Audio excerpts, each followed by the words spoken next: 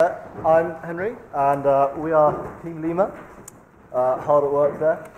So, our brief from IMC was to write an app that would allow blind people to know what's in front of them.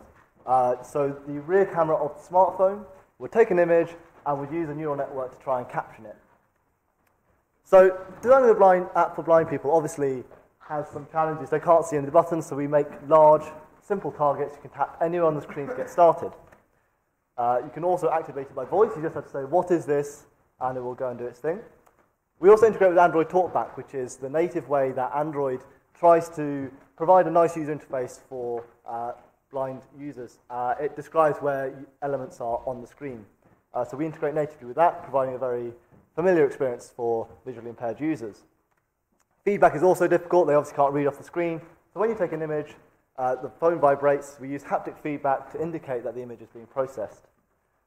And we then read out what the neural network thinks is in front of the device. So in this case, this was a picture of my room. It says a living room filled with furniture and a shelf, which is pretty accurate. We also give tips to improve accuracy. Being blind, you won't know what the image looks like, if the image is too dark, if it's blurry, if it's skewed, you don't know. So we uh, process the image separately to try and advise on what the user can do there.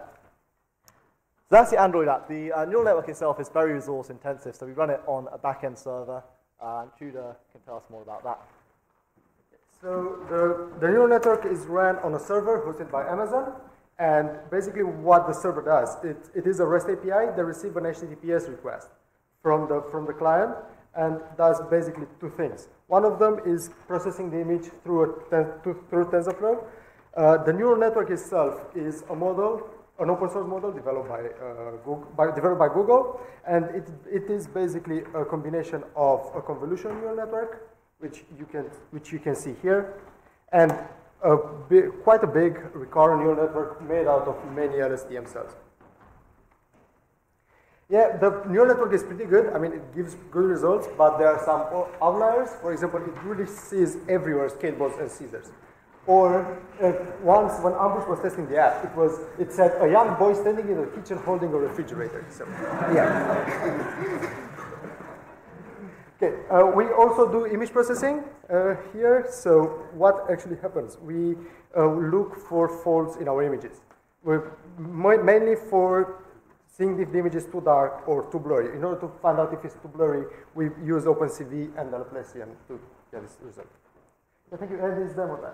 Right, um, Tamara is going to play a blind visa if you really want to speak to banana. Signing in. Tap to say, what is this? I'm listening. So uh, she's going to take a picture of, of it. What is this? So we made the app um, very easy to use for visually impaired people, and it's going to read out the result in a few seconds after the server comes back with the result.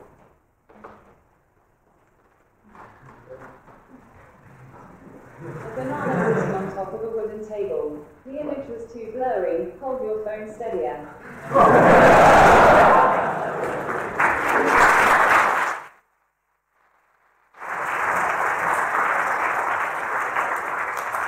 So uh, we'd like to thank our clients and, and uh, yeah, um, what's another picture? Um, No one knows what to say. yeah, we're signed by so many people.